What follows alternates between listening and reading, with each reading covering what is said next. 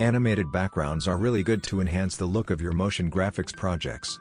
Nowadays it looks boring when we use a static background in our projects. In this tutorial, I will show you two types of animated background using some simple steps. So without any further ado, let's jump into the After Effects.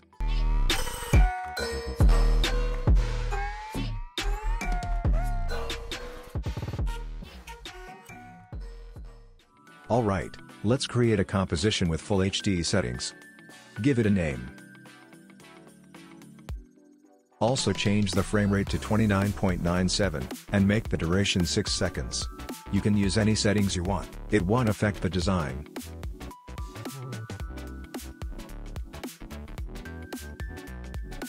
Let's create another composition, give it a different name. But this time, make the dimension, 1000 times 1000 pixels, I mean a square. Keeps the rest of the settings same.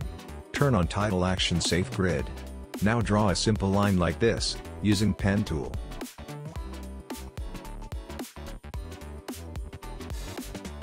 Increase the stroke value a little bit.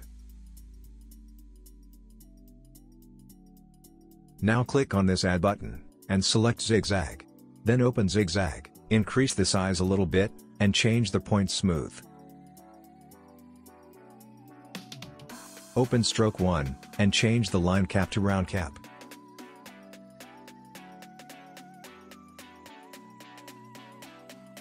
Now click on this add button, and select trim paths. Set the start and end value something like this.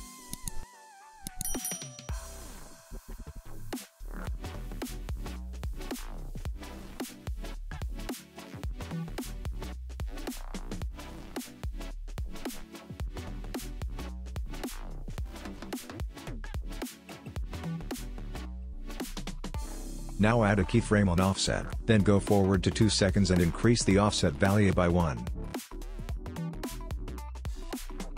Here we need to keep this animation in loop. For doing this, click on this stopwatch icon by holding Alt key. Then type in loop out.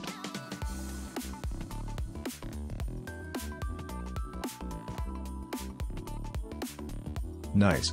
We are done with this part here. Now go to the main comp, and bring this into the timeline. Press R to open rotation, and change the rotation value to minus 45. Then adjust the size, and try to place it in the center. You can change the stroke settings anytime from here.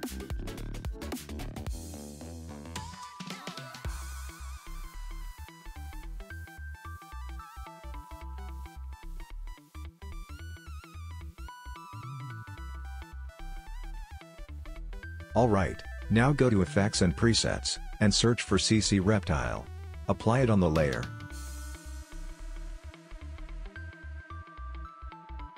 Now increase this values to a high value.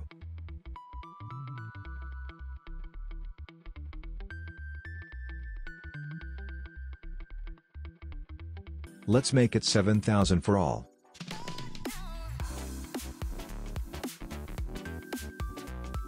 Now you can just scale it according to your need.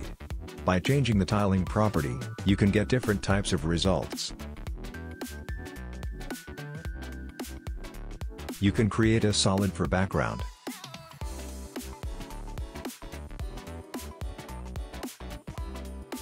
Also you can change the color and shape anytime from here.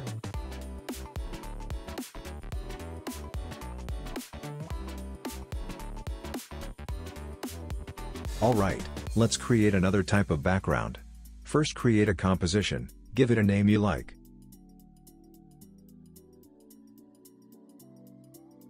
And keep the other settings same like the previous one. Now make another composition. And name it shape. And leave the all settings same. Now double-click on the ellipse tool to make a perfect ellipse at the center. Reduce the scale a little bit.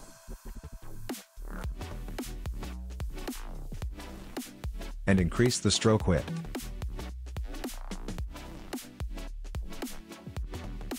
Now click on this Add button, and select Zigzag.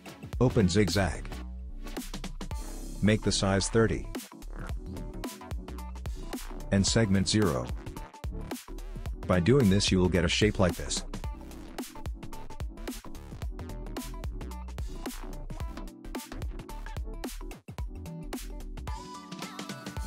Now click on this add button, and select repeater.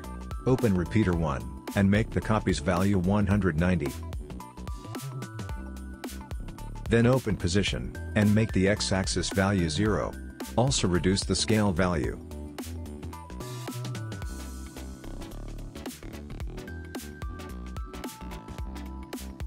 Now if we change the offset value, then we can see the changes, like this.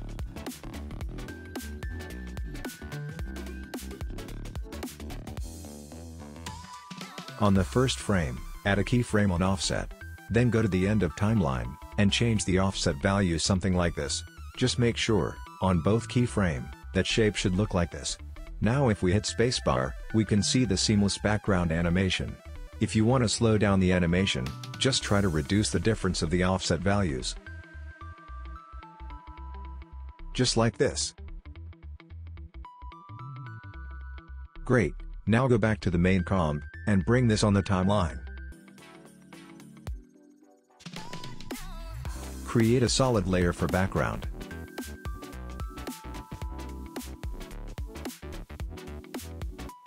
Go to Effects and Presets, and search for Gradient Ramp.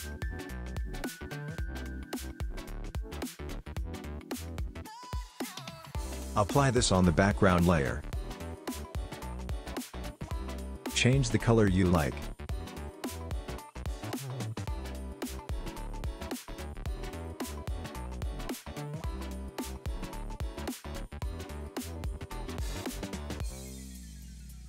Can change the track matte to the alpha matte from here for a different look. Or you can change this blend mode to overlay. I think if we change this stroke color to white, it will look much better. Nice. That looks great to me.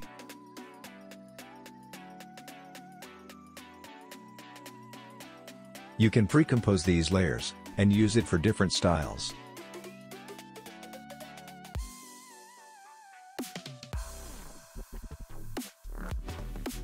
Like this. I just show you the way, but destination is yours.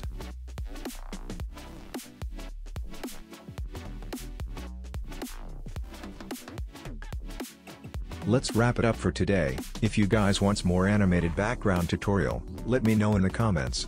Till then, keep learning, and as I say, always try to think outside the box. Peace out.